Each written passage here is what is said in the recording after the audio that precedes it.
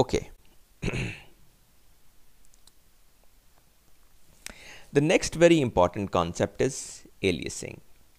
Aliasing का अमूमी मतलब होता है कि आप एक चीज़ का एक नया नाम रखते हैं एक निक नेम रखते हैं जैसे आपका एक रियल नेम होता है तो आपका एक निक नेम भी होता है। आपको आपके रियल नेम से बुलाया जाए या आपके निक नेम से बुलाया जाए, या मिसाल के तौर पे आपके घर में मल्टीपल लोगों को मल्टीपल नेम्स पसंद थे तो आप के घर के अंदर आपके वालद ने एक नाम रखा उनको एक नाम पसंद था आपकी वालदा ने कोई दूसरा नाम रखा आपके दादा ने कोई तीसरा नाम रखा आपके नाना ने कोई चौथा नाम रखा। So this is very common जैसे आप हैं। सो so, वो सारे के सारे नाम अपनी जगह पे मौजूद हैं और उन उन नामों से उनको पुकारा जा सकता है। So so this is called aliasing कि एक ही चीज़ के बहुत सारे नाम अगर हम रख, रखते हैं। Now that you know that how mutation modifies an existing list object you will really be able to see how this differs from strings when you introduce a new variable right so अब चूँकि हम ये जान चुके हैं कि हम list को म्यूटेट कैसे कर सकते हैं तो अब हम you will really be able to see how this differs from strings when you introduce a new variable strings और लिस्ट के दरमियान म्यूटेशन का फ़र्क तो देख चुके हैं। अब हम एलिसिंग का फ़र्क भी देखेंगे इसके अंदर। सो so, मिसाल के तौर पे हमारे पास ये स्ट्रिंग है। Right right? ये हमने स्ट्रिंग पहले भी डिफ़ाइन की और ये काम भी हम कर चुके हैं कि हम इसके एक एलिमेंट को अगर हम तब्दील करें तो दिस वर्क्स राइट सो अब हम क्या करते हैं? एक और वेरिएबल डिफ़ाइन करते हैं क्यू और उसको हम असाइन कर देते हैं पी राइट right? और पी के अंदर हम एक तब्दीली ऑलरेडी कर चुके हैं विच इज़ कि हम उसका पहला एलिमेंट जो है वो एच की बजाय वाई कर चुके हैं और अब हम क्यू जो है उसको असाइन कर चुके हैं पी राइट अब इसका मतलब क्या है कि हमने एक एलियस बनाया है पी का। जो पहले नाम हमने एक स्ट्रिंग का नाम पी रखा हुआ था, अब हमने उसी स्ट्रिंग का एक और नाम समझ लें क्यू भी रख दिया है। तो पी और क्यू बुनियादी तौर पे एक ही चीज़ के दो नाम हैं, एक ही स्ट्रिंग के दो नाम हैं। After this assignment P and Q refer to the same list right वो एक ही लिस्ट को पॉइंट कर रही हैं Y E L L O suppose we use an assignment statement to modify one of the elements of Q अब फ़र्ज़ करें कि हम पहले हमने जैसे पी एट फोर ये किया था अब अगर हम क्यू एट फोर ये करें तो आपके ख्याल में क्या होगा? अगर हम क्यू प्रिंट करें तो वाई ई एल एल आखिरी करेक्टर जो था वो ओ की बजाय एक्सक्लेमेशन हो गया राइट सो so, आपके ख्याल में this also changes the value of P आपके ख्याल में अगर हम पी की वैल्यू प्रिंट करें यहाँ पे तो so you see Q of four हमने इसको म्यूटेट किया था, और जब हमने क्यू को प्रिंट किया तो एक्सपेक्टेडली आखिरी करेक्टर जो फोर्थ इंडेक्स पे पड़ा हुआ करेक्टर था, जो पहले ओ था, अब एक्सक्लेमेशन हो गया। Now we haven't done this change in P explicitly हमने पी ऑफ़ फोर जो है पी को अभी हमने डिफ़ाइन किया था ओ जिसका आखिरी कैरेक्टर ओ था। इसके बाद हमने पी ऑफ़ ज़ीरो जो है, उसको वाई किया था। फिर हमने क्यू जो है, उसको पी असाइन कर दिया था। फिर हमने क्यू ऑफ़ फोर को एक्सक्लेमेशन असाइन कर दी थी। पी एट फोर को हमने एक्सक्लेमेशन एक्सप्लिसिटली असाइन नहीं की, लेकिन अब हमने क्यू और पी दोनों को प्रिंट किया तो दोनों की वैल्यू सेम है। इसका मतलब क्या हुआ? कि हमने ये किया था कि Q को P का एलियस बनाया था राइट right? इसका मतलब क्या था कि ये जो स्ट्रिंग थी H E L L O जो कि पहले P के ज़रिए रेफ़र हो रही थी, अब Q के ज़रिए भी रेफ़र हो रही है। यानी मेमोरी में जिस जगह पे ये स्ट्रिंग पड़ी हुई है, P उस लोकेशन को पॉइंट कर रहा है, P उस लोकेशन को एक्सेस करता है, और जब हमने Q को P असाइन किया तो Q भी उसी लोकेशन को पॉइंट करने लग गया। Q भी लिखेंगे तो उसी लोकेशन को एक्सेस करेंगे। अब हम पी के ज़रिए किसी इंडेक्स को मॉडिफाई करें स्ट्रिंग के, या क्यू के ज़रिए मॉडिफाई करें। वो चेंज दोनों पी और क्यू के ज़रिए रिफ्लेक्ट होगा। क्योंकि क्यू और पी एलियस हैं, वो एक ही स्ट्रिंग के दो नाम हैं। जैसे एक पर्सन के दो नाम होते हैं, दोनों में से किसी भी नाम से पुकारें तो वो उसी पर्सन को एड्रेस करने के लिए इस्तेमाल होता है। लिहाजा अब हम क्यू के किस क्यू के किसी क्यू के ज़रिए इस स्ट्रिंग के किसी इंडेक्स को मॉडिफाई करें या पी के ज़रिए किसी स्ट्रिंग के किसी इंडेक्स को मॉडिफाई करें, वो रिफ्लेक्शन पी और क्यू दोनों में होगी जो कि हम अभी एग्जिबिट कर रहे हैं। So this is called aliasing कि आपने एक ही चीज़ के, एक ही लिस्ट के दो नाम रखे और किसी भी नाम के ज़रिए कोई मॉडिफिकेशन कोई इमिटेशन आप अप्लाई करते हैं तो वो दूसरे नाम के ज़रिए भी एक्सेसिबल होती है, वहाँ पे भी रिफ्लेक्ट होती है। So it is actually exclamation here not O so that is wrongly written here. We have just seen that it is actually exclamation here. so after the q assign p q p assignment the names p and q refer to the same list. So anything we do that mutates the list mutates the list changes the value uh, of both variables the uh, both variables refer to. It is called aliasing when there are two names that refer to the same object. Aliasing is very useful but also can be very confusing since one mutation can impact many variables.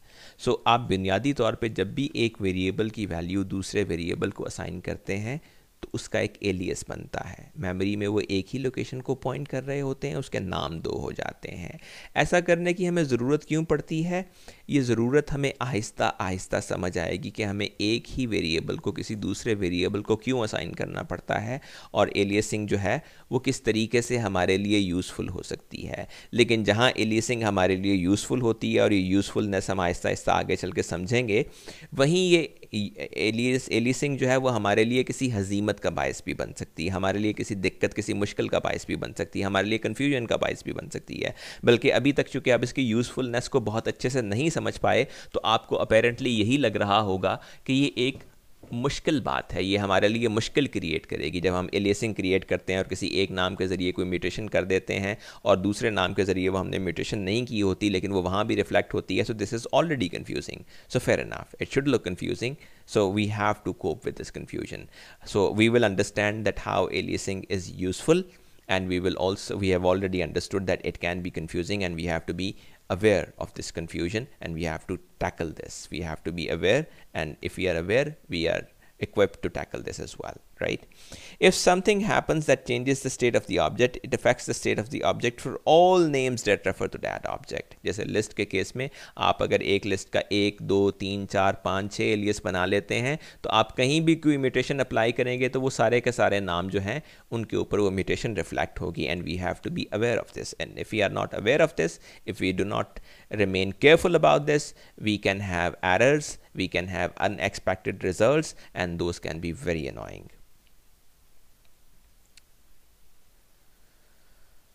okay so ये बात हम अभी already uh, कह चुके हैं कि strings are immutable strings mutable नहीं होती. Note that we can not mutate strings since they are immutable objects try mutating string in the interpreter ये हम ऑलरेडी करके देख चुके हैं कि आप इसके पहले करेक्टर को एक्सेस करते हैं जब चेंज करने की कोशिश करते हैं तो हमें ये मैसेज एरर मैसेज मिलता है. The str object does not support item assignment आप इसको तब्दील नहीं कर सकते. the key difference between mutable and immutable objects is that once an object is mutable, you have to worry about other variables that might refer to the same object. अगर एक item अगर एक ऑब्जेक्ट म्यूटेबल है तो अगर आपने उसके aliases बनाए हुए हैं तो आपको उनके एलियसेस के बारे में भी अवेयरनेस रखनी पड़ती है you can change the value of the object and it affects not just variable you think you changed but other variables that refer to the same object as well. right here is an example जैसे आप एक, अभी हमने example देखी भी है, हम इसी एक एग्ज़ाम्पल को दोबारा विज़िट करते हैं कि हम एक वेरिएबल बनाते हैं, एक लिस्ट बनाते हैं पी के नाम से, जिसके अंदर स्टोर्ड है J A M E S इसमें पाँच कैरेक्टर स्टोर्ड हैं जेम्स पाँच एलिमेंट्स हैं राइट? फिर आप क्या करते हैं? Q is given P right again revisit of the same example फिर हम क्या करते हैं? P at second index zero one two यानी ये जो m है इसको m की जगह हम n कर देते हैं राइट सो p जो थी uh, p जो लिस्ट थी वो अब जेम्स की बजाय जेन्स हो गई right you can expect that but you know that since we had created an alias with the name q, this change has reflected to q as well, right? Although we have not modified explicitly but if we print q this mutation of n will be reflected there as well although we have not uh, made this change explicitly with q हमने p के ऊपर तो ये change apply किया था q पे नहीं किया था लेकिन क्योंकि q उसका एलियस है q उसी को रेफर कर रहा है तो ये चेंज ऑटोमेटिकली q में भी रिफ्लेक्ट होगा right? So both P and Q now refer to the same list, right? Now, what happens if we assign p a new value as in this? Right? अब क्या होगा अगर हम p को एक होल न्यू वैल्यू असाइन कर दें p की पहले वैल्यू जेम्स थी फिर हमने p ऑफ़ टू जो है उसको n असाइन किया था अब अगर हम p को एक नई वैल्यू असाइन कर दें which is in this case totally different list zero zero seven अब क्या होगा? In this case the value of P will change but the value of q will remain the same the assignment changes the value the name p refers to, which is different from mutating the object that p refers to, right? अब इस case में आपने p की value तब्दील कर दी। हम q को चेक करके देखते हैं। Q की वैल्यू अभी भी Janes J A N E S ही है राइट सो अब फ़र्क क्या है म्यूटेशन में और नई वैल्यू बनने में?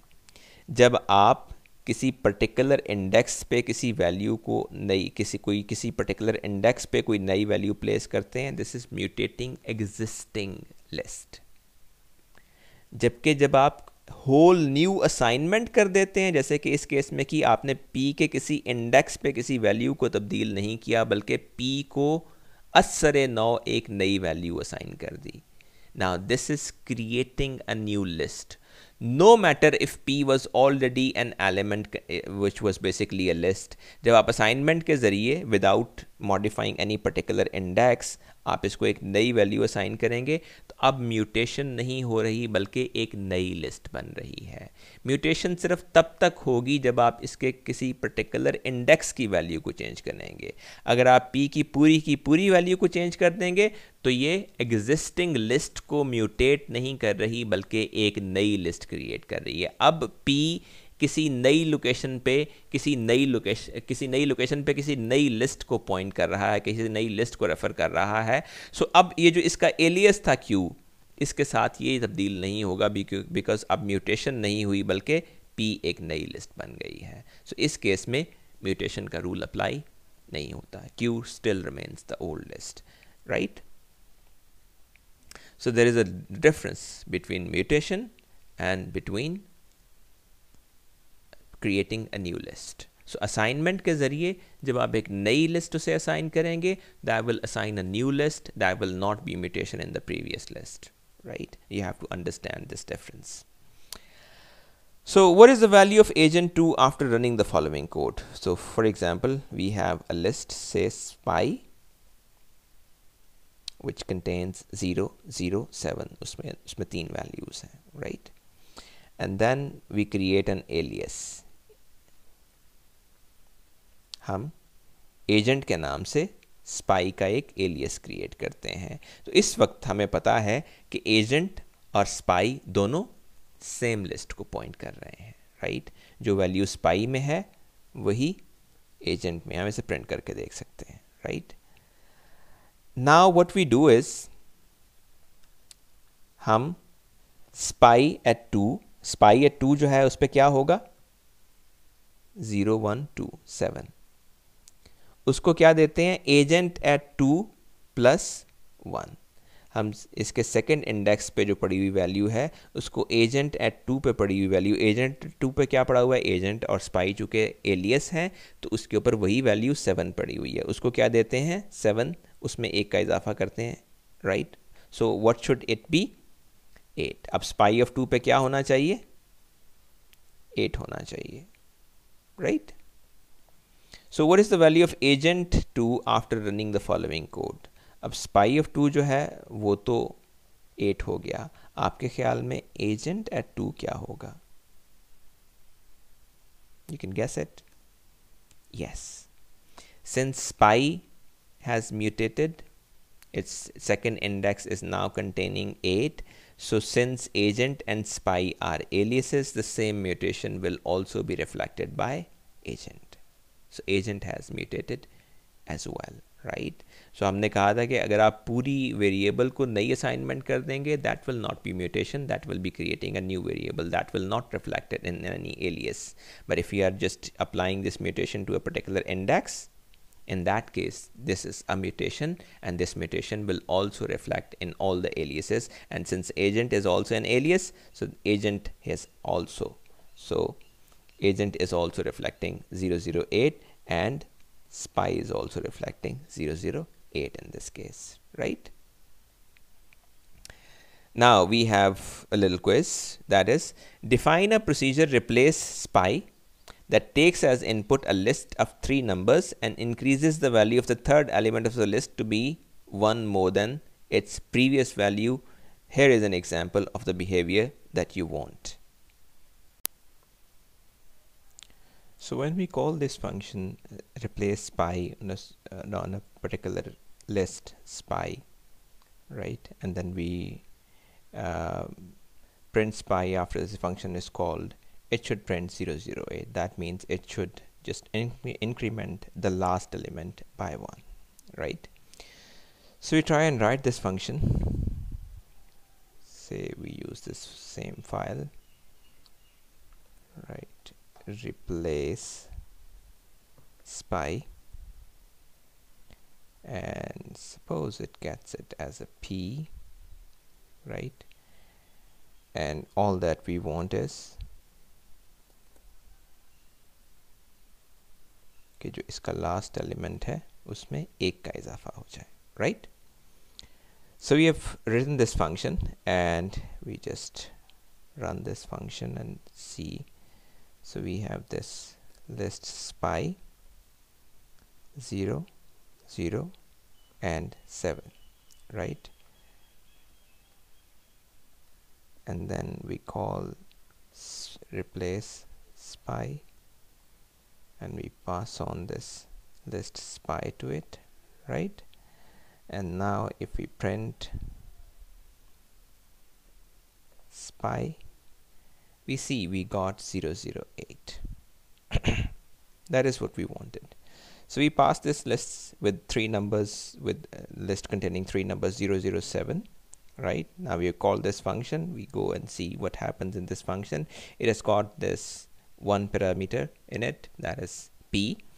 And that is coming from here as spy अब ये इसके अंदर होता क्या है कि ये इसका zero one second second index पे पड़े हुए एलिमेंट को असाइन करता है. सेकेंड इंडेक्स पे पड़ा हुआ element plus one second index पे क्या पड़ा हुआ है? ज़ीरो वन टू सेवन तो सेवन के अंदर एक का इजाफा होता है और दोबारा इसी इंडेक्स में स्टोर हो जाता है राइट ना you see we are not returning anything but since this spy is coming as a parameter so p and spy are referring to the same memory location right so जो change p के अंदर होती है which is an alias for it right वही change spy के अंदर भी reflect होती है so we simply when we print spy here since this spy and p were alias and p was changed so this change is reflected in spy as well so we get 008 here now it's noticeable we know that uh, that that uh, lists are mutable objects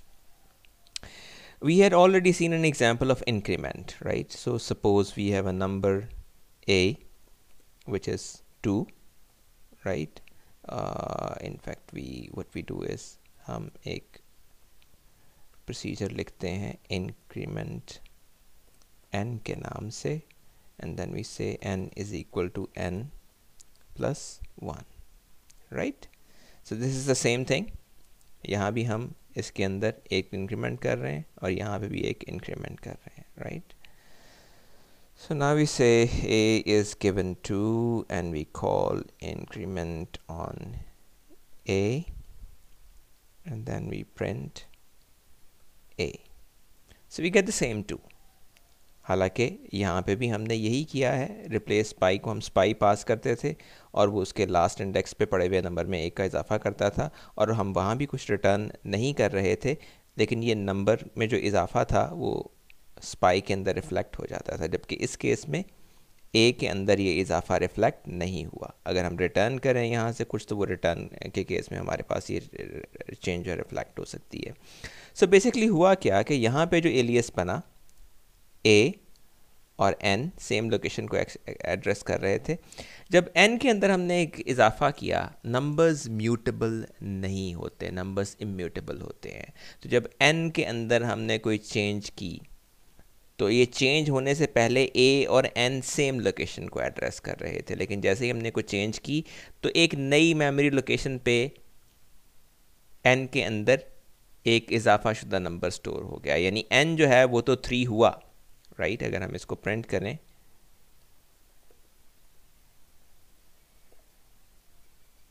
और